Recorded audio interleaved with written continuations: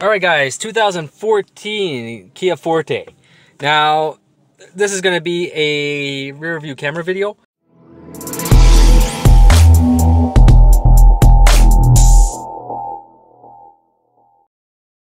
And the issue with this one is that the rear view camera is not working. So if I take and I put this into reverse, what we will see to come up on the screen is a black screen with lines. Now, the reason that this happens is because there is actually an internal fault inside the rear view camera.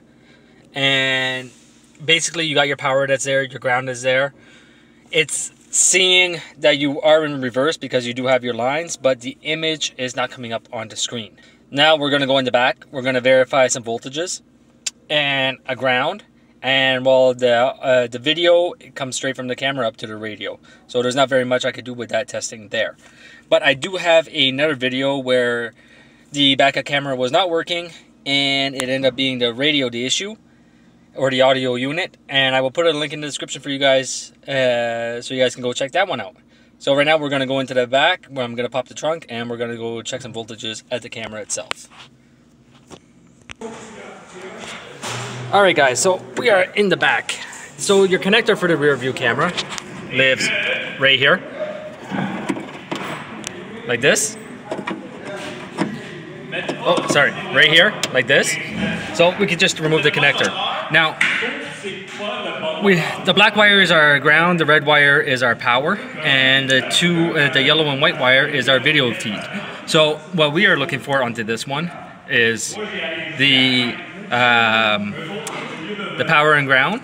So our ground is a straight ground straight from the radio, and then our power is going to be roughly about seven volts. So we're going to check that out real quick. For this one, I'll just use the power probe. So as you can see, we have a good ground. And for voltage, try that again. 6.8 volts. So I have my voltage and I have my ground.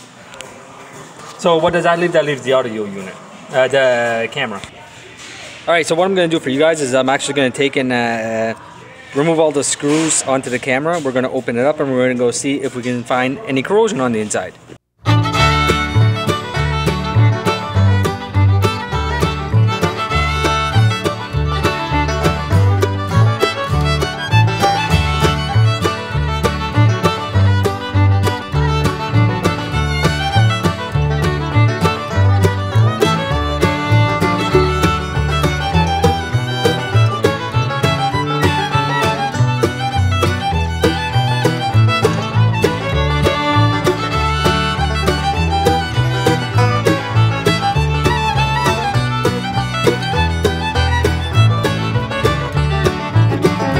So as you can see, there was a bunch of corrosion onto it. Seems to be quite a bit on the inside also. I can't really show you guys that, I wish I could. But uh, yeah. Well, maybe I can. We'll see. We'll see. See if I can uh, open this up.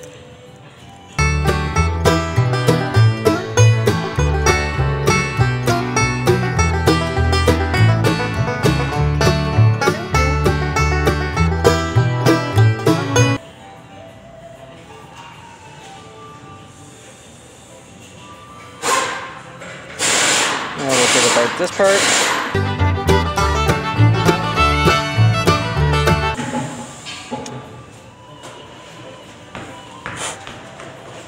And it doesn't look too bad. So now we'll put everything back.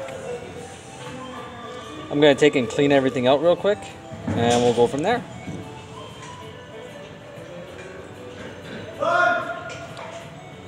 All right, so now I put everything back together and as you can see, it was full of corrosion on the inside. So this is gonna need a camera and it is gonna fix the customer's issue. So I hope you guys enjoyed this little video and I will see you guys next time.